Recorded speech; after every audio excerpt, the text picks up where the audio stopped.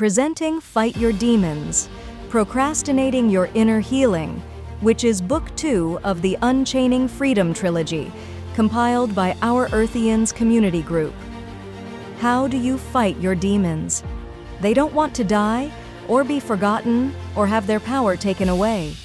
You must show up to this war. You must not run away from the overwhelming and potential intimidation of loss.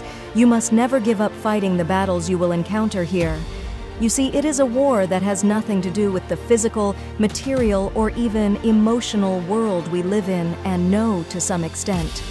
Writers from around the world come together to bravely show you how fighting them, with even the barest minimum strength, is better than remaining stagnant. How the very war you find yourself in is the fight for your soul, and how using your voices is the only consistent way out of the maze of darkness.